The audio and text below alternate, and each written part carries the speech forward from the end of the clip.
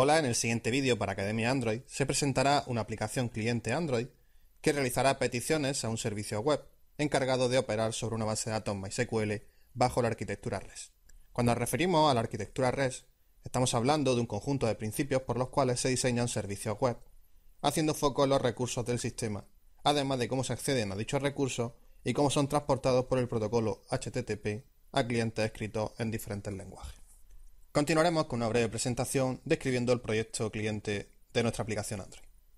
Bueno, comentar que a nivel de clases tendríamos la clase Splash Screen dentro del proyecto cliente biblioteca. Esta clase heredará de la clase base activity y mostrará el logo de la aplicación.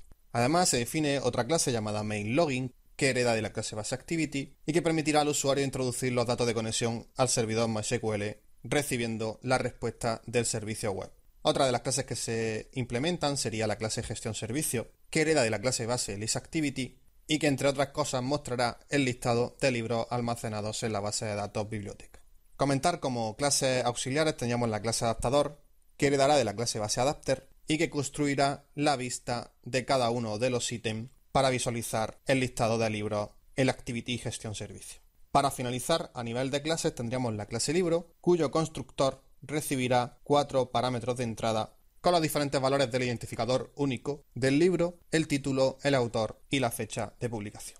A nivel de layout tendríamos el layout Activity Splash Screen, que estará formado por un control Image View que mostrará el logotipo de la aplicación, un segundo layout Activity Main Login con cuatro controles de tipo Edit Text para introducir los datos de la conexión al servicio web, un control de tipo Checkbox que mostrará la respuesta de dicho servicio web y dos controles de tipo batón encargados tanto de lanzar la petición al servicio web como de pasar los datos a la siguiente activity. Por último, comentar el layout Activity Gestión Servicio, que estará formado por cuatro controles de tipo Edit Test para realizar las tareas de inserción, actualización y borrado de registros de la base de datos. También comentar que estará formado por el control LixView que listará los libros almacenados en dicha base de datos.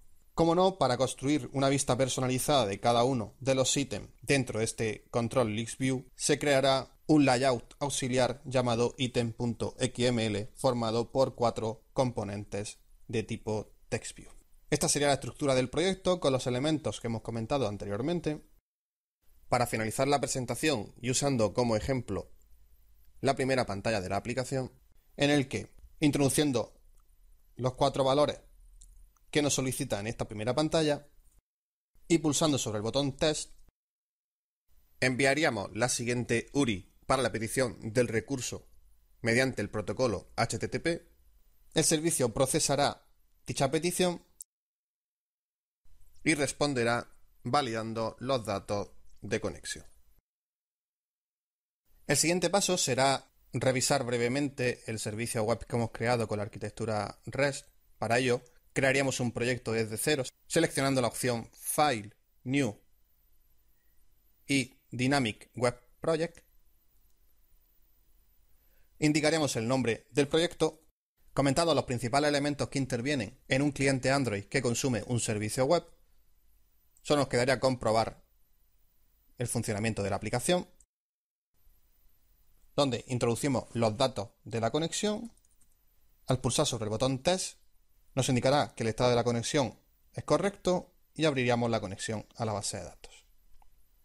Como se puede apreciar, almacenaríamos los valores de la conexión en la siguiente activity, mostraríamos un registro ya disponible dentro de la base de datos, tendríamos cuatro controles de tipo edit test para realizar peticiones al servicio web. Al pulsar sobre el botón Insertar, nos indicaría que ese libro se ha almacenado correctamente y nos devolvería la respuesta del servidor web. Para actualizar los valores del libro insertado anteriormente, indicaríamos el identificador único para ese libro y al pulsar sobre el botón Actualizar, modificaría los datos de dicho libro. Para eliminar dicho registro, tan solo deberíamos de introducir el identificador único del libro.